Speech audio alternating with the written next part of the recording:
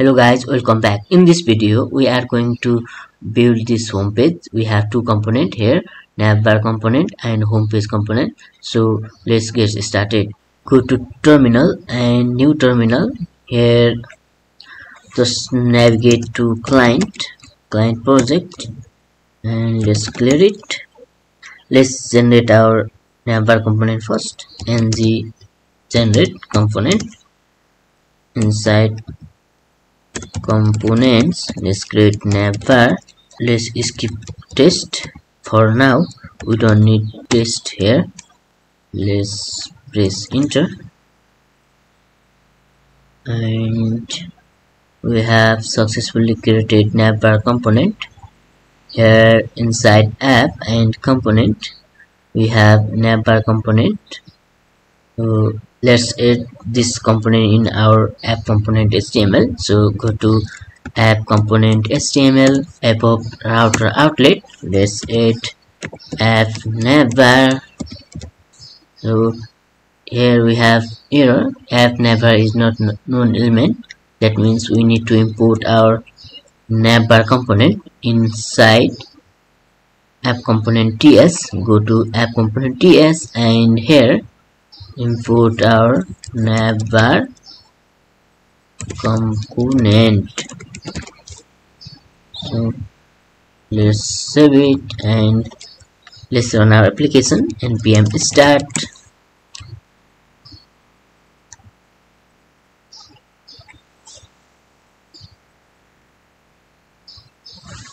Let's click this link control click we have navbar work here next let's design our navbar component go to navbar component html control p navbar component html here add div inside div mat toolbar.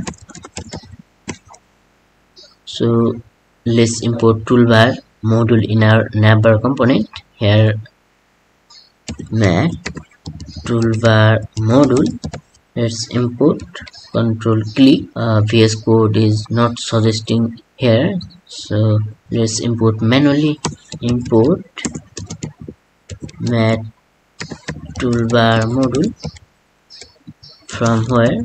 From at angular and material. Inside material let's add toolbar.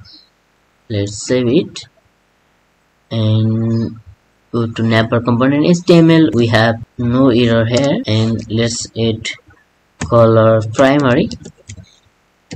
Primary. And here let's add one button. And button mat icon button. And inside button inside button let's add mat icon. And let's say menu and let's go to navbar component and import mat button module and mat icon module here manually import mat icon module from?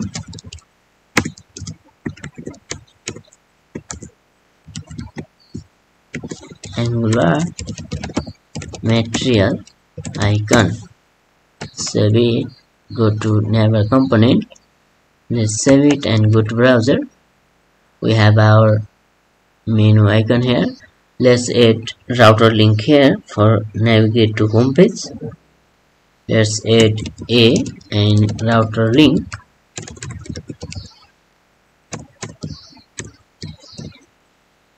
And give slash path my app.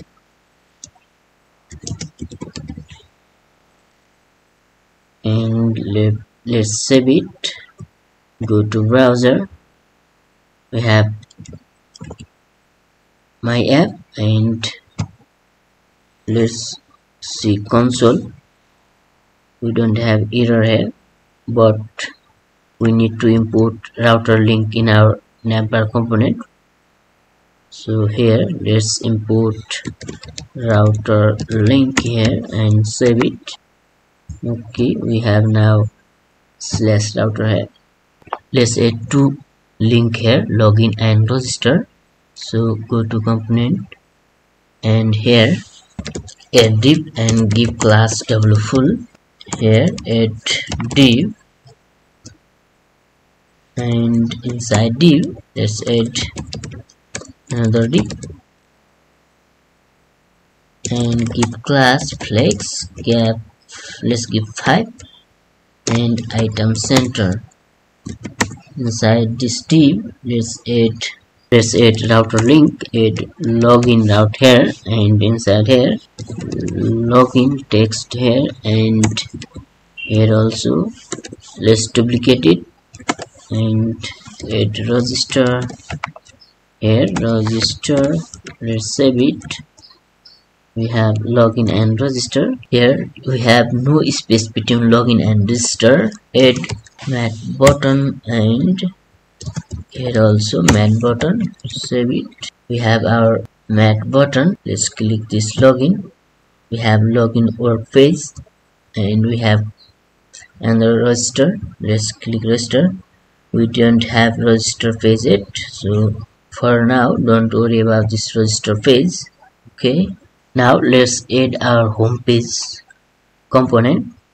Go to terminal and let's add another terminal here. Let's generate home page component nggc inside pages let's generate home page and skip test look we have home page generate. Let's add home page component in route. Go to app route.ts here well, let's add path and let's give input path here and component home page component. Let's save it go to browser. Go to home we have home work so home page is our default page when we don't have any route here. So now let's design our home page. Go to home page component. Let's add div give class flex. Item center. Item center. And let's say flex column. And pt 56 will be good. It's screen for full height and here let's add another div give class is screen inside this tip. Let's add s1 and give class of text 4xl and text center. Let's make it center. Font bold. And mi10 will be good. Welcome to let's add here some style in span tag text 5xl give class text 5xl text green green 800